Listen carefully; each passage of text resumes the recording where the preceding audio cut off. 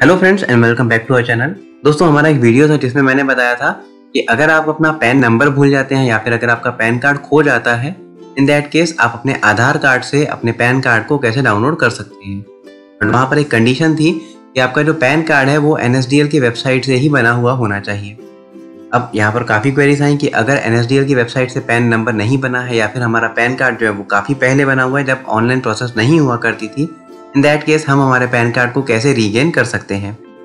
तो आज के वीडियो में हम इसी टॉपिक पर बात करेंगे कि कैसे आप अपना पैन कार्ड डाउनलोड कर सकते हैं इन केस अगर आपने वो एन की वेबसाइट से नहीं बनवाया है तो, तो चलिए वीडियो को शुरू करते हैं बट बिफोर दैट चैनल को सब्सक्राइब करना ना भूलें।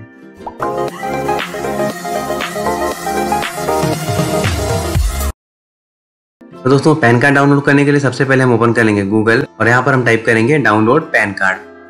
यहाँ हम देख सकते हैं काफ़ी सारी वेबसाइट्स हैं। हम सिंपली इस फ़र्स्ट वाली वेबसाइट को विज़िट कर लेंगे क्लिक करेंगे download e PAN card from N S D L यहाँ आपको दो ऑप्शन मिल जाएँगे एक्नॉलेजमेंट और पैन अगर आपके पास एक्नॉलेजमेंट नंबर है तो आप उसे यूज़ कर सकते हैं। ऑब्वियसली हमारे पास नहीं होता तो हम यहाँ पर यूज़ करेंगे हमारा पैन नंबर यानी कि वो पैन कार्ड का नंबर जो हमसे खो गया है या फिर चोरी हो गया है। तो यहाँ पर मैं लिखूँगा मेरा पैन नंबर पैन नंबर के बाद आप देख सकते हैं नेक्स्ट है Aadhaar number only for individual यानी कि आपको अपना आधार नंबर लिखना ही होगा। यहाँ पर मैं अपना आधार नंबर लिख लूँगा।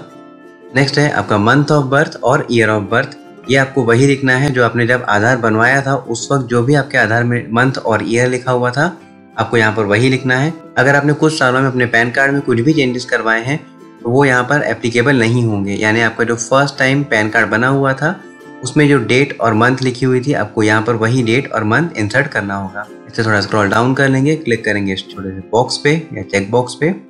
कैप्चा कोड जैसा लिखा हुआ है एज इट इज़ हम यहाँ पर लिख लेंगे और क्लिक करेंगे नेक्स्ट ओके यहाँ पर एक छोटा सा एरर आ चुका है एंड दैट इज़ मेरा जो डेट ऑफ़ बर्थ है या फिर डेट ऑफ़ ईयर है, वो यहाँ पर मिसमैच हो रहा है मेरे पैन नंबर से. तो अगेन मुझे इसे ठीक करना होगा एंड टू करेक्ट इट मैं यहाँ पर बैक कर लूँगा, और अगेन यहाँ पर अपने जो मंथ और ईयर है, इन दोनों में जो भी चेंजेस है, वो यहाँ पर मैं अप्लाई कर लूँगा.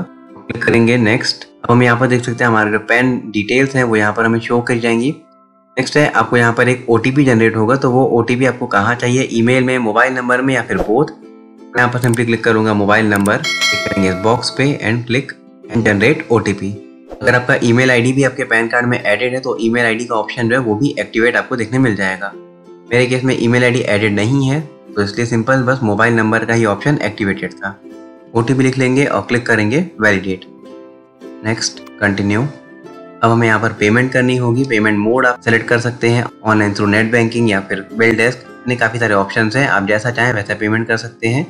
पेमेंट हम देख सकते हैं यहाँ पर आठ रुपये पच्चीस पैसे की पेमेंट है बट इन केस अगर आप एक फ़िज़िकल पैन कार्ड मंगवाना चाहते हैं तो आपको यहाँ पर कुछ फिफ्टी रुपीज़ के आसपास के चार्जेस पे करने होंगे। तो आपकी जैसी भी रिक्वायरमेंट हो, आप अपने अकॉर्डिंग यहाँ पर उस ऑप्शन को सेलेक्ट कर सकते हैं। मुझे उसकी रिक्वायरमेंट नहीं है। मुझे यहाँ पर सिंपली एक सॉफ्ट कॉपी की ज़रूरत है तो मैं स्क्रॉल डाउन करूँगा। क्लिक करेंगे I agree and proceed to payment next हम देख सकते हैं सवा आठ रुपए की पेमेंट होगी।